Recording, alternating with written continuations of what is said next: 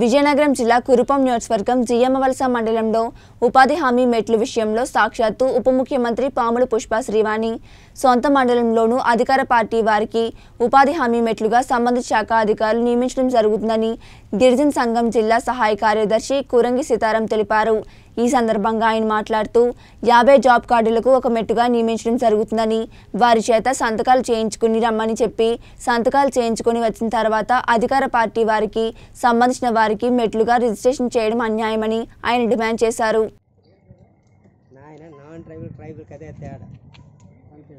గిరిజనులు నెమ్మది. Non tribal ఎవరు వాక్ అందరు ఆరుగురు కదే చేయొద్దు. మంత్రి గారు గిరిజనులకు అన్యాయం చేయొద్దు. ఎవరైతే మేట్లు రిజిస్టర్ చేసిన అందరికి మేట్లుగా ఇవ్వాలి.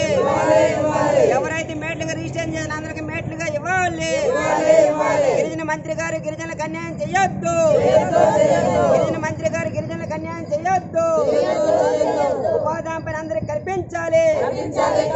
ఉపాధి పైన అందరికీ కల్పించాలి. సహాయ కార్యదర్శి అండి. ఈరోజు మన శుక్రవారం నుండి రిలే నిరాధ్యక్ష జీఎంఎల్స్ ఎంపీడీ ఆఫీసు ఆవరణంలో నిర్వహించడం అనేది జరిగి జరిగింది. ఆయన ఇంతవరకు ఒక అధికారి కూడా ఉన్న టెంట్ వైపు కానీ వీళ్ళు ఎందుకు కూర్చోనని చెప్పి కూడా ఉన్న ఒక అధికారి కూడా వచ్చి పరామర్శ చేయలేదు. సరే కదా ఈరోజు జాతీయ గ్రామీణ ఉపాధి హామీ పథకం రెండు వేల ఐదు రెండు వేల ఆరులో చట్టం వచ్చింది. ఇది చట్టం. చట్టం వచ్చినా సరే ఉపాధి పని ఇవ్వండి అని చెప్పి చెప్పాము. గతంలో అయితే ఎలాగైతే మేట్లు ఇచ్చారో ఆ వ్యవస్థను కొనసాగించాలని చెప్పి మనం చెప్పాము. అయినా పాత వ్యవస్థ అంతా రద్దయిపోయింది. కొత్తగా నలభై మంది గ్రూప్ సభ్యులకి ఒక మేట్ ఉండాలని చెప్పి అధికారులే చెప్పారు.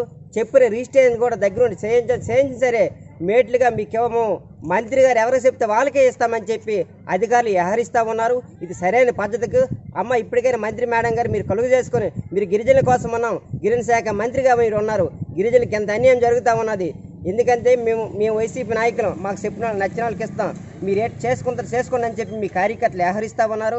వాళ్ళ యొక్క తీరు ఏమైనా బాగోలేదు ఇప్పటికైనా మీ కార్యకర్తలకి పద్ధతి మార్చుకోమని చెప్పండి.